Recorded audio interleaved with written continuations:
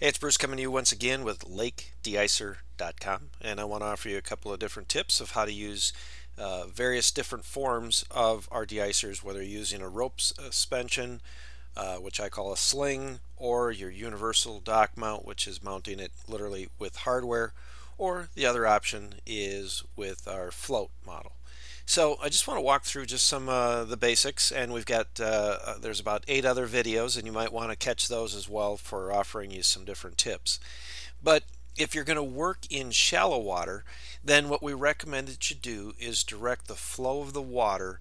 uh, from the deep water towards the shallow water. Remember the whole concept here is that deeper water has warmer water down on the bottom. The the earth or the lake bottom or pond area actually is got uh, the, the, earth is warmer and so that's going to make the water down there warmer as well. So you, our goal is to get to the deeper water and push it up. So if you've got uh, you know a deeper area moving towards a shallow, which is most shorelines, you're going to want to push that deeper water um, towards the shallow.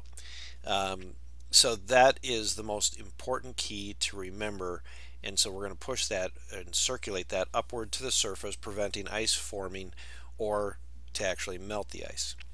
Now it's also often easier to use um, a deicer with a boat by it, installing it um, on the front so that it actually kind of hits it and the bow would actually split it and cause it to go off from both sides you know, we're not afraid to sell you two deicers if you want, one for each side of the boat, but why not use the efficiency by having it in the front of the boat, pointing at the bow so it basically cuts it or splits it down both sides. Now, a, a similar concept works well to have it angled up towards the shoreline so that when it hits the shoreline or the sea wall or retaining wall, whatever the case might be,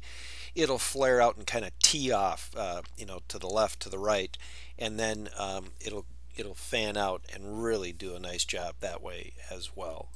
Now, if you're out on the coast and you've got tidal waters, then what you want to do is split the difference in the water depth so that the icer is, the icer is in shallow water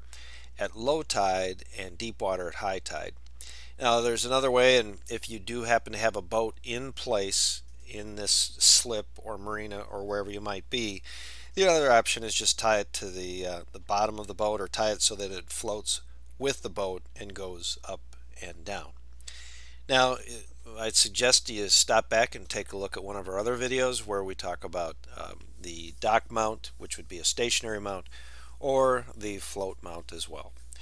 Again, this is Bruce with BoatDockDeicer.com.